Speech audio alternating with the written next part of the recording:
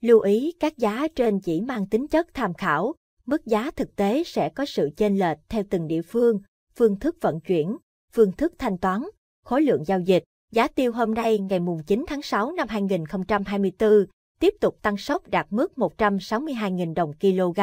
Kết thúc phiên giao dịch gần nhất, cộng đồng hồ tiêu quốc tế IPC niêm yết giá tiêu đen Lampung, Indonesia chốt tại 5.635 đô la tấn, tăng 0,37%. Giá tiêu đen Brazil Asta 570 ở mức 7.700 đô la tấn, tăng 13,23%. Giá tiêu đen Chinh, Malaysia Asta giữ mức 4.900 đô la tấn. Giá tiêu trắng muôn to 7.425 đô la tấn, tăng 0,38%. Giá tiêu trắng Malaysia Asta vẫn ở 7.300 đô la tấn. Giá tiêu đen Việt Nam đồng loạt giữ giá ở mốc cao, giao dịch ở 6.500 đô la tấn, tăng 16,92% với loại 500g mỗi eo, loại 550g eo mức 6.700 đô la tấn, tăng 11,94%, giá tiêu trắng 9.500 đô la tấn, tăng 15,79%. Giới chuyên gia trong ngành nhận định, giá tiêu hiện đã bước vào chu kỳ tăng giá mới. Động lực tăng giá trên thị trường hiện vẫn là câu chuyện lượng tồn kho từ năm ngoái chuyển sang năm nay không đáng kể. Nguồn cung bị thiếu hụt, trong khi cầu tăng cao. Bên cạnh đó, đồng USD cao và tình hình địa chính trị toàn cầu khiến vận tải gặp khó. Ngoài ra, tình trạng đầu cơ là nguyên nhân chính dẫn đến giá tiêu tăng mạnh trong thời gian qua. Đặc biệt, việc Trung Quốc tăng nhập khẩu tiêu trở lại đã kích thích thị trường sôi động hơn.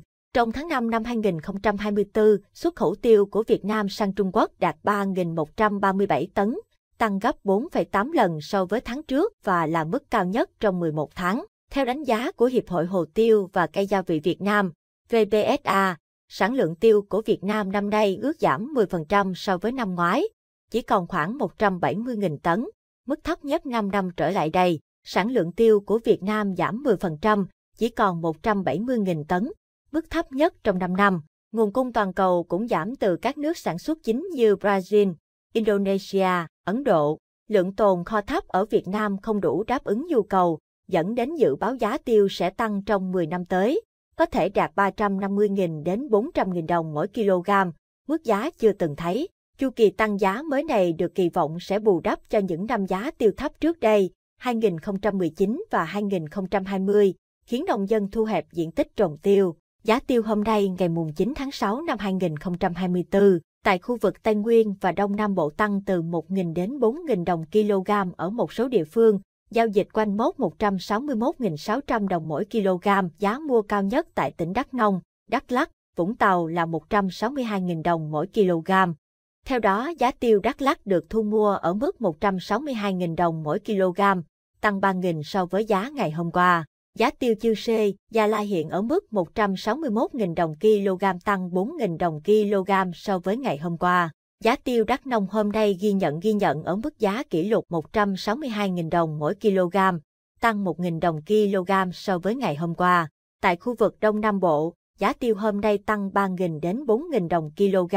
Cụ thể tại Bà Rịa, Vũng Tàu lên mức 162.000 đồng mỗi kg, tăng 3.000 đồng mỗi kg. Tại Bình Phước, giá tiêu đạt mức 161.000 đồng mỗi kg, tăng 4.000 đồng kg. Như vậy, giá tiêu trong nước hôm nay nối dài đã tăng mạnh ở hầu hết các địa phương trọng điểm so với hôm qua, mức tăng 1.000 đến 4.000 đồng mỗi kg.